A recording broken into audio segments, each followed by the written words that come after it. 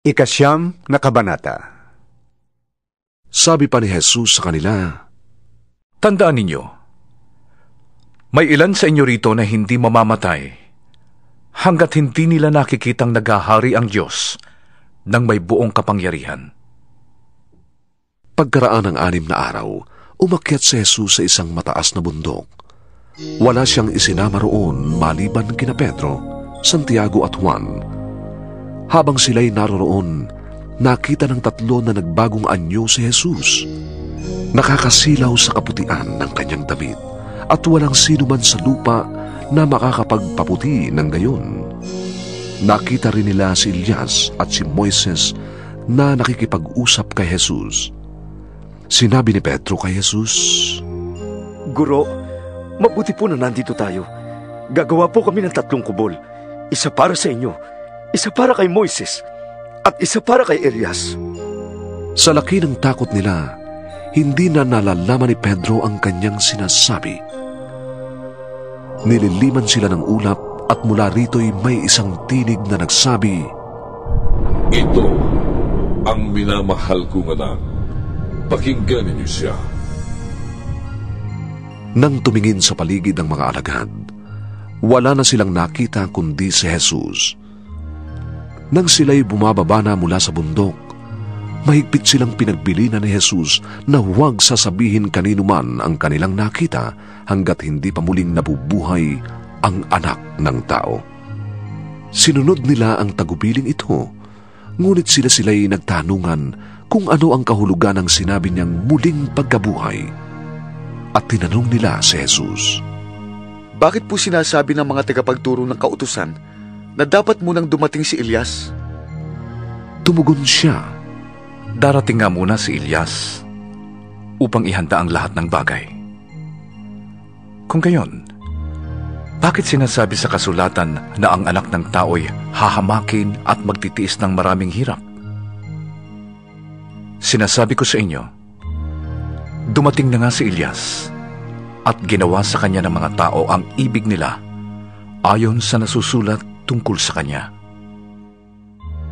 Nang magbalik sila, narat na nila ang ibang mga alagad na naliligid ng napakaraming tao at ng mga tagapagturo ng kautusan na nakikipagtalo sa kanila.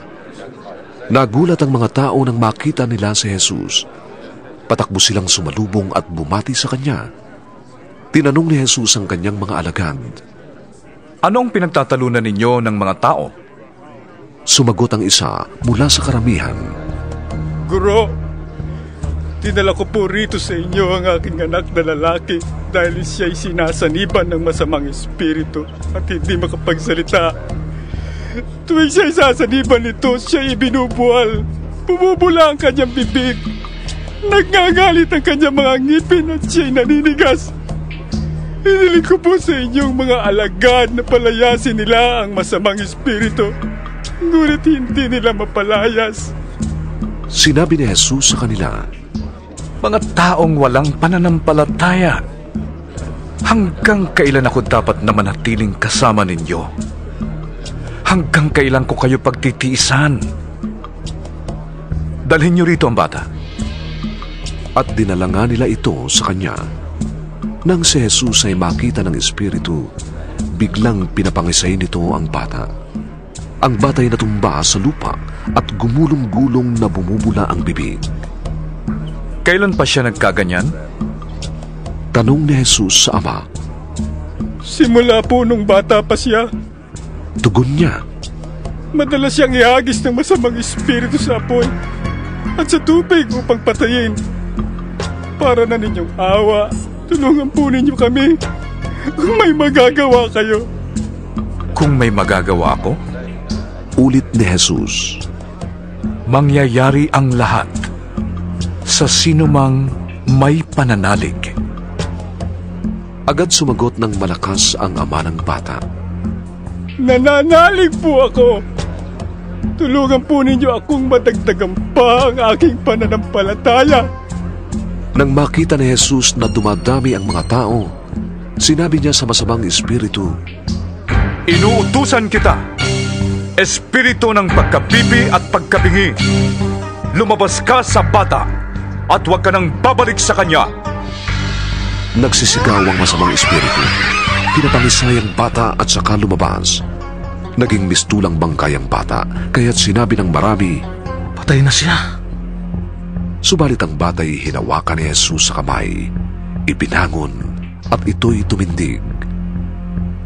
Nang pumasok si Jesus sa bahay, palihim siyang tinanong ng kanyang mga alagad. Bakit po hindi namin mapalayas ang masamang espiritong yon? Sumagot si Jesus. Mapapalayas lamang ang ganitong uri ng espiritu sa pamamagitan ng panalangin. Pag-alis nila roon, nagdaan sila sa Galilea. Ayaw ni Jesus na malaman ng mga tao ang kanyang kinaroroonan dahil tinuturuan niya noon ang kanyang mga alagad. Sinabi niya sa kanila, Ang anak ng tao ay pagtataksilan at papatayin. Ngunit siya'y mabubuhay sa ikatlong araw. Hindi nila naunawaan ang sinabi niya, ngunit natatakot naman silang magtanong sa kanya. Dumating sila sa Kapernaum. Nang sila'y nasa bahay na, tinanong ni Jesus ang kanyang mga alagad. Ano ang pinagtatalunan ninyo sa daan? Hindi sila makasagot dahil ang pinagtatalunan nila'y kung sino sa kanila ang pinakadakila.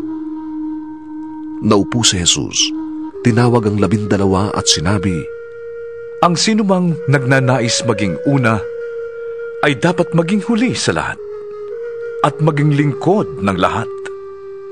Tinawag niya ang isang maliit na bata at pinatayo sa harap nila. Pagkatapos, kinalong niya ito at sinabi, Ang sinumang tumanggap sa isang maliit na batang tulad nito, alang-alang sa akin, ay tumatanggap sa akin. At ang sinumang tumanggap sa akin, ay hindi lamang ako ang kanyang tinatanggap, kundi pati na rin ang nagsugo sa akin. Sinabi sa kanya ni Juan, Guro, nakakita po kami ng isang taong nagpapalaya sa mga demonyo sa pamamagitan ng inyong pangalan. Pinagbawalan namin siya sapagkat hindi natin siya kasamahan. Ngunit sinabi ni Jesus, Huwag ninyo siyang pagbawalan, sapagkat kung ang isang tao ay gumagawa ng himala sa pamamagitan ng pangalan ko, hindi siya kaagad-agad na makakapagsalita ng masama laban sa akin. Ang hindi laban sa atin ay panig sa atin. Sinasabi ko sa inyo, ang sinumang magbigay sa inyo ng isang basong tubig dahil sa kayo'y tagasunod ko, ay tiyak na tatanggap ng gantimpala. Mabuti pa sa isang tao ang siya'y bitinan ng isang malaking gilingang bato sa leeg at itapon sa dagat kaysa maging sanhi ng pagkakasala ng isa sa maliliit na ito na nananalig sa akin. Kung ang kamay mo ang nagiging sanhi ng iyong pagkakasala, putulin mo. Mabuti pang pumasok ka sa langit na putol ang isang kamay kaysa may dalawang kamay na mapunta ka sa impyerno sa apoy na hindi mamamatay. Kung ang paa mo ang nagiging sanhi ng iyong pagkakasala, putulin mo. Mabuti pa ang pumasok ka sa langit na putol ang isang paa kaysa may dalawang paa na mapunta ka sa impyerno. At kung ang mata mo ang nagiging sanhi ng iyong pagkakasala, dukitin mo ito. Mabuti pa ang pumasok ka sa kaharian ng Diyos na kulang ng isang mata kaysa may dalawang matang mapunta ka sa impyerno. Dooy hindi namamatay ang mga uod at apoy. Sapagkat ang bawat isa'y dadalisayin sa apoy. Mabuti ang asin. Ngunit, kung ito'y mawala ng alat, paano ito mapapaalat na muli? Magtaglay kayo ng asin ng pagkakaibigan sa inyong puso. At sa gayon, magiging mapayapa ang inyong pagsasamahan.